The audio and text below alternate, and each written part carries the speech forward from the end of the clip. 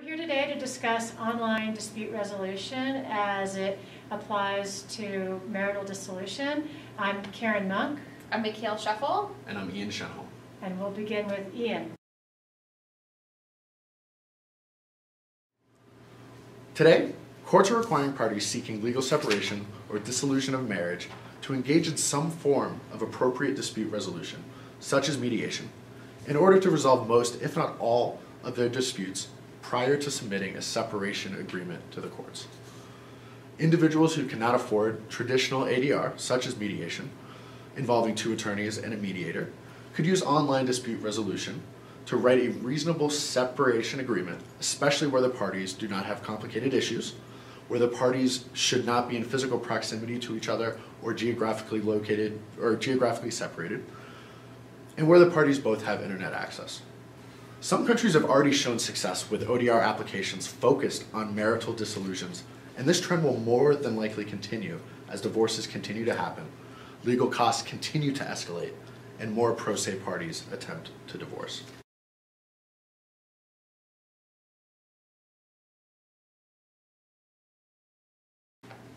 When there are matters or issues that cannot be resolved by the parties to a divorce, mediation and other forms of ADR may offer a solution to the parties.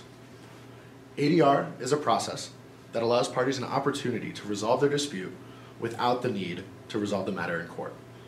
And mediation is only one type, whereby a neutral third party assists disputing parties to reach their own resolution.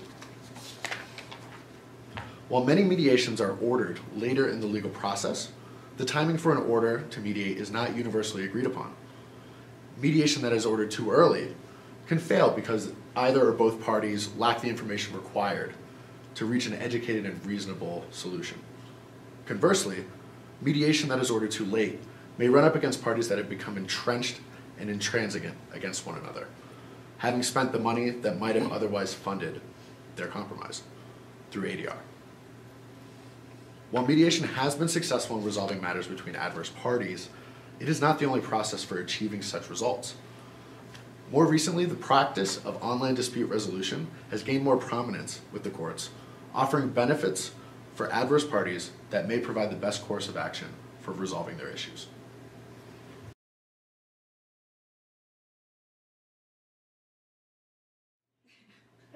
So, what are our other options outside of ADR. We have online dispute resolution.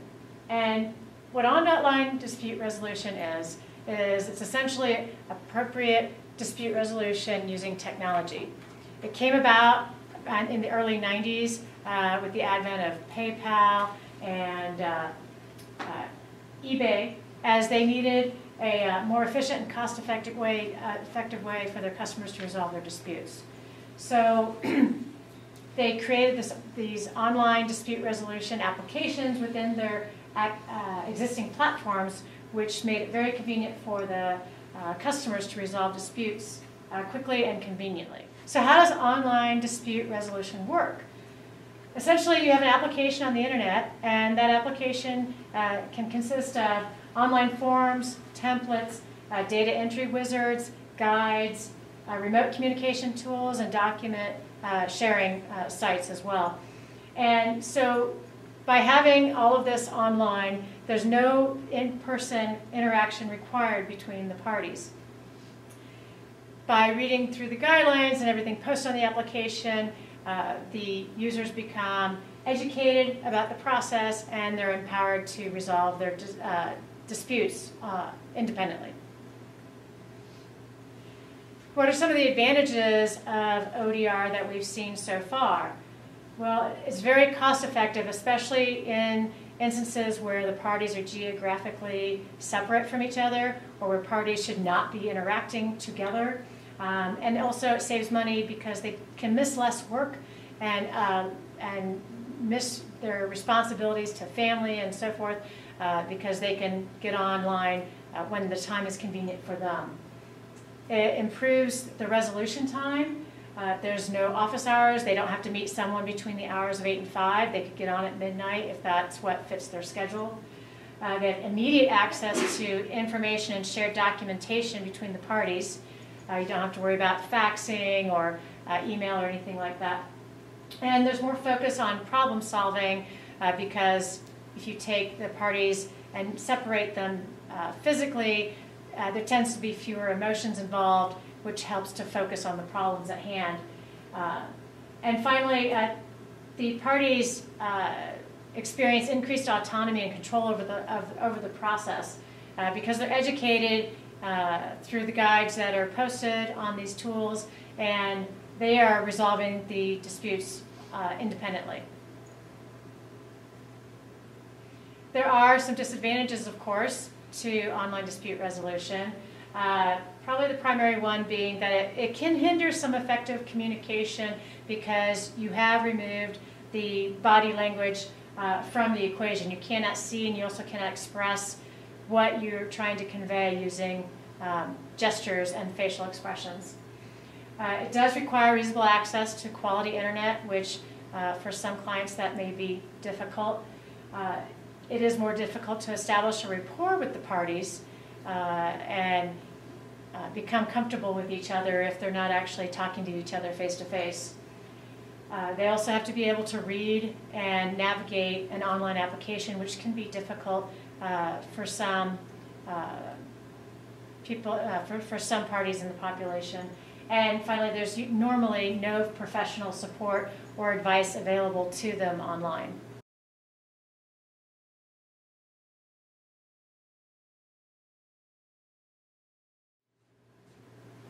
Online dispute resolution is used for a wide variety of conflicts. However, today we are talking about marital dissolutions and specifically the mediation of those marital dissolutions.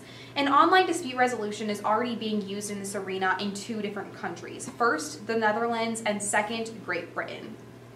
Um, really, the online dispute resolution in these countries is used for individuals that are pro se and need affordable access to legal assistance. Um, these online applications help individuals create separation agreements and allow them to stay out of the court process while still complying with the law. You don't have issues of pro se parties writing agreements that highly favor one party while disfavoring the other party in division of time or division of resources. Instead, you have an agreement that favors both parties and is in the best interest of both parties. Additionally, you have agreements that um, Additionally, you have agreements that comply with the law. The, both these online applications allow attorneys to look at the separation agreements before they're given to the parties and after they're produced. So both the separation agreements comply with the local law of the land, and so you don't have parties going into the court with a separation agreement to get a stamp of approval from a, from a judge um, instead and then being sent away because it does not comply with the law. So first, let's go over the program in Netherlands called Rechtwijzer 2.0. First, parties begin by registering for the program. Each party answers several multiple choice questions, and then the program, based on the, both individuals' questions, essentially gives you an agreement that matches the answers given by both parties. If the parties do not agree on the separation agreement provided, the website will actually give you a mediator or an arbitrator to come together to meet and arbitrate your separation agreement so it's fair to both parties and so it fits all of your needs. The parties do have to pay for that additional application in the Netherlands, however, it is a useful application. Once they successfully create a joint separation agreement, the service actually provides a legal review of the separation agreement as stated earlier, so an attorney looks at it before it's provided to the court. Unfortunately, the Netherlands Rechtwijzer program was entirely funded by the government and was unable to keep up its funding because it was not requiring individuals to actually pay for the use of the program. Knowing this, Justice 42 in the Netherlands swept in and took over that same void that would that needed to be filled from Rechtwijzer um, breaking down.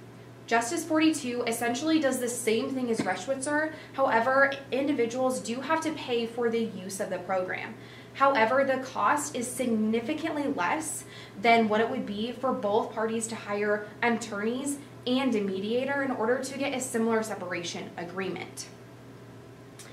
Now, Great Britain has a very similar program called My Law BC. However, My Law BC is a much simpler application that simply guides parties through the separation agreement.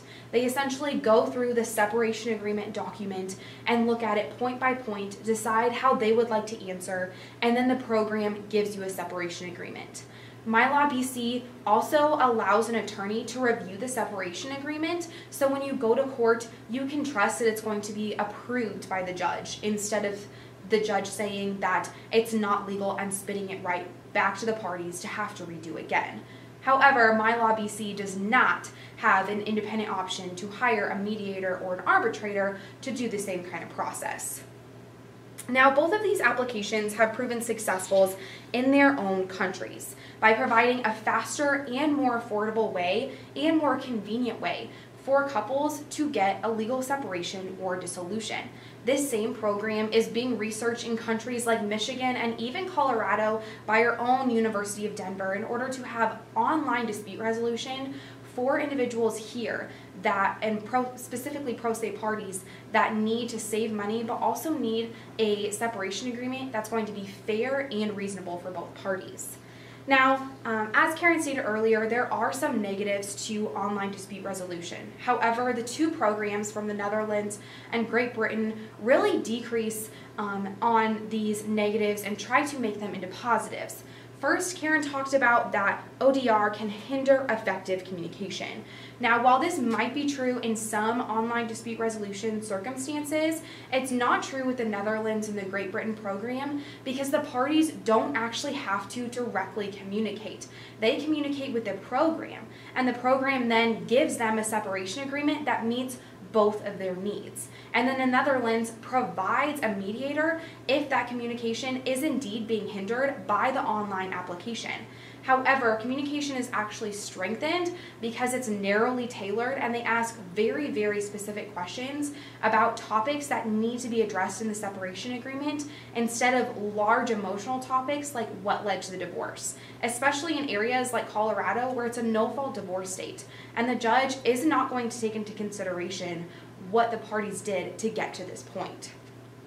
Additionally, Karen talked about how it's more difficult to establish rapport with online dispute resolution. And while this may be true for, in some instances, with the Netherlands and the Great Britain sites, rapport honestly doesn't matter because the website has the rapport. The website, by the lawyers reviewing your separation agreements, gives rapport to the website, and so there isn't a third party that needs to swoop in and be there throughout the entire mediation process. Instead, the website does the legwork for you. And lastly, Karen talked about that online dispute resolution often does not have professional support or advice.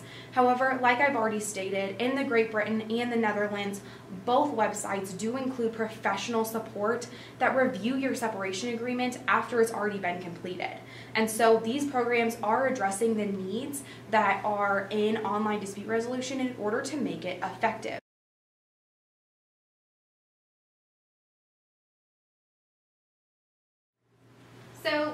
Previously talked about MyLaw BC, Great Britain's online form for online dispute resolution. We talked about it specifically in the area of separation agreements for dissolutions and legal separations. However, MyLaw BC for online dispute resolution is actually addressing several different categories. Separations, divorces, and family matters, but also abuse and family violence, missed mortgage payments, and then wills and personal planning. So clearly online dispute resolution can be used in a lot of areas. Today, obviously, we are talking about separation in divorce and family matters. Now, My Law BC does claim that they can find a solution to your family law matters in 15 to 20 minutes. Now, me working for a family law firm, I'm a little skeptical of 15 to 20 minutes, but it might be efficient. So, on their website, they give you several options. First, you can make a separation agreement or a separation plan for you and your partner to work through family law matters. Now, this would be a plan for essentially going forward for how you and your partner going through your divorce or legal separation are going to talk about it and going to find solutions to your current problems, whether it be the house, the bank accounts, the cars, or retirement plans. Second, you can also get family orders. You figure out which court to use and then get help with court orders. So, in Colorado, say, this could be used to tell you exactly which courthouse you need to go to. Currently, you can go to the courthouse website and actually get forms for all the separation and dissolution forms you need in order to separate or divorce your partner.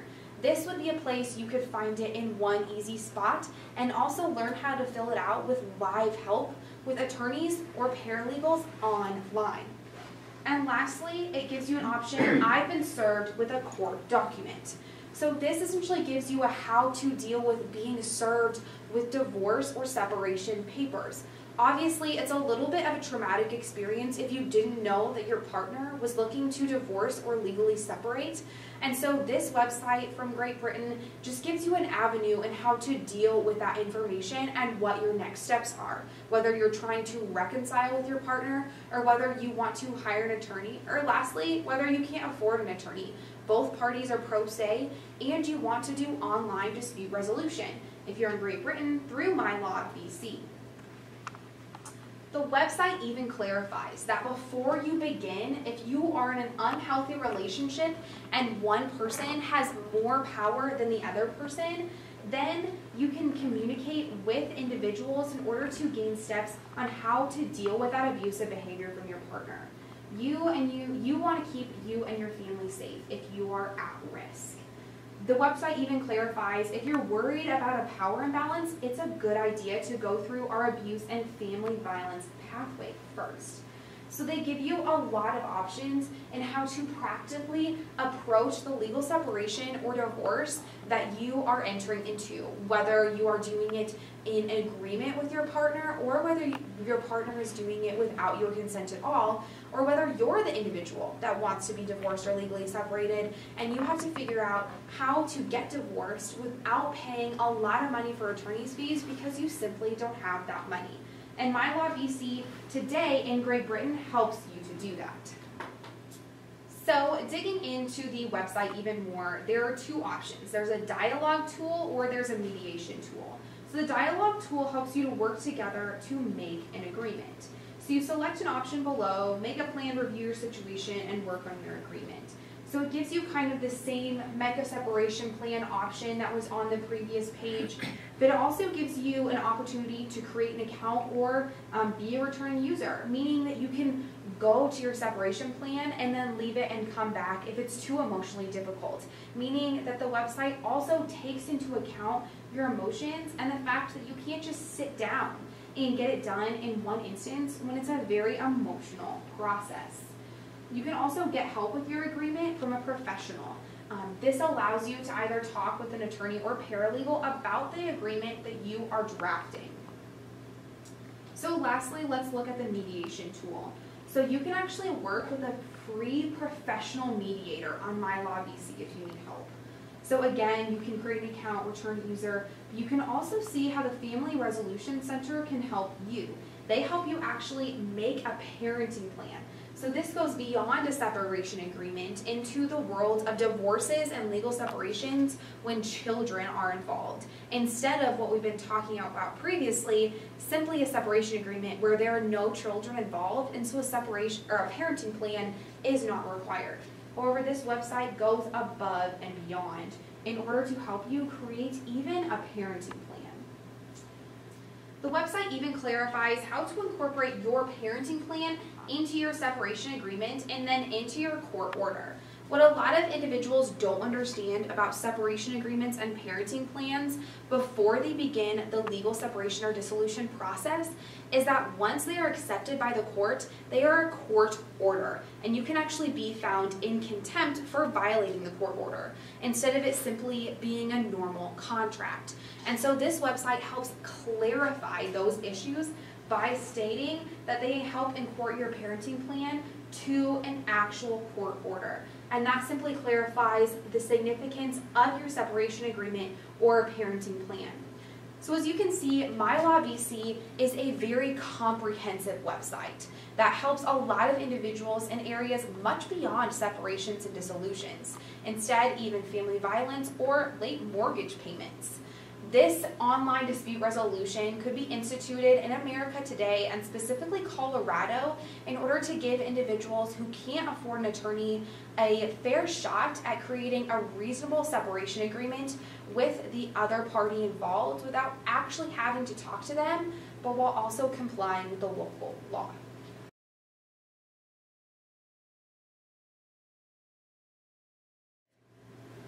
Reasonable separation agreements for pro se parties are time consuming, and court dockets are too full to participate fully in each and every one. Appropriate dispute resolution, such as mediation, has been encouraged, if not required, by most courts across the country to reduce the workload on the courts by having couples resolve their disputes outside of the courtroom. With the ever increasing cost of legal assistance, parties may someday be able to take control of the legal process and benefit from online dispute resolution programs dedicated to legal separations and dissolutions, such as the ones in Great Britain and the Netherlands.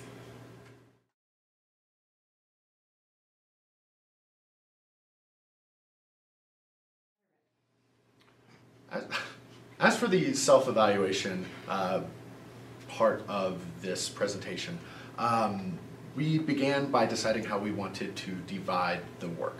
Um, that was an internal negotiation, uh, actually multiple internal negotiations uh, about what our individual strengths and individual weaknesses are and how they would um, apply or hinder uh, each individual learning goals. Now those learning, obje learning objectives are first, attendees will acquire a basic understanding of family law dispute resolution that may arise from marital dissolutions. The second learning goal, attendees will learn about online dispute resolution and its advantages in general. And finally, attendees will learn about how online dispute resolution could be applied to marital dissolution mediation and improve the outcomes. Now once again, going back to our uh, internal negotiations, we ultimately decided, and as you saw in our presentation, that I would take the first learning objective, that Karen would take the second, and that Mikayle would take the last. Um, furthermore, um, as a result of those internal negotiations, we decided to jointly work on introductions, on the conclusions, and the citations. Yeah, so how we came together as a group and how well we worked, I was actually really impressed. Uh, you know, the day we met, you know, because we were all three strangers, we didn't know each other uh, before we were grouped together, and we seemed to have uh, a very easy chemistry right away. So when we had to come up with the, the proposals of what we were going to do, um, you know, everyone threw forth some ideas. We tossed them around very quickly because everyone has, I think, the same work ethic between the three of us, which makes it very easy to work together. And uh, you know, we easily just zoned in, on, you know, zoned in on one option and started to build that out um, based on our different backgrounds and experiences. What would make sense, you know, what we could relate to, what was easy to speak to, and this is how we came up with this topic. And then throughout this process, we had to negotiate, you know, when would we meet, where would we meet, how long would we meet, all, you know, all those just, you know, administrivia type of things. Um, and since, you know, I'm a night student, I live far away, you know, we decided that we would take advantage of the Zoom application. So we would meet online primarily, uh, where we could share the documentation. We um, had a shared document so we could edit right there together on the fly, uh, which was really useful, uh, you know, because we can see what everybody's doing. Uh, you know, nobody was possessive of the work. Everyone was very open about editing each other's work, very supportive. Um, so I'm very pleased. These are great partners to have. So I think it was a really great experience. And as far as where we could improve, uh, based on the feedback we got from Professor Parks on our um, both our proposal and our full paper, we definitely could have um, put in a little more research. We had some sentences and um, some claims in our paper that weren't cited or backed up by research. Instead, it was just kind of an assumption that we made um, about whether it be appropriate dispute resolution or whether it be about dissolutions or legal separations or online dispute resolution specifically. I think there were, um, I think, around one in each of our sections that we could have backed up with more research. And additionally, just kind of negotiated research responsibilities. I think we all kind of researched our own areas in each of our learning objectives because that's how we had divided it up. But I think if we had um, collaborated more on all of the research we had provided with each other, we would have able we would have been able to back up each of the claims we all made. I think the research was mostly there, just wasn't applied in the most specific ways because we each had our own separate learning objectives that we worked on. However, overall, um, we did a, I think we did a great job. We had great chemistry as a group working together, and we enjoyed it and negotiated a lot. Yes. Thank you. So, in addition to the negotiations that we had between the three of us regarding who would work on, excuse me, which learning objective for the paper, as well as how we would do the introduction, the conclusion, the citations, how we edited each other's work. We also participated in negotiations surrounding the video presentation. Now, one of the issues that came up with the video presentation was that we knew Mikayle would be going out of town closer to the due date. So we thought it was wise that she take on the uh, demonstration of the website MyLawBC, not only because she wouldn't be around closer to when the paper was due, uh, but also because she has a lot more experience in working in family law than Ian and myself. So she could speak very well to the benefits of what My Law BC has to offer from firsthand experience. And we also thought that it would be less disjointed if we had a single person doing the demo of My Law BC, uh, because if we had split it up where each of us took a turn explaining a part, it would be a little harder for the audience to follow what was trying to be conveyed um, in that lesson. So we thought that it would be more fluid for the audience. So then, based on the strengths of myself and Ian, uh, we took on the videography responsibilities, the slides, uh, all the creation of all the slides needed for the video presentation, as well as all of the editing required. And not only because we would be around closer to the due date, but uh, we have more experience in technology uh, with the equipment and the software than Mikayle. So it was actually quite easy to come to uh, this decision on how we would divide up the work for the video presentation. And just like with the paper, the video presentation went very smoothly um, and very pleased with how uh, we all worked together. Uh, so uh, it was a very good experience.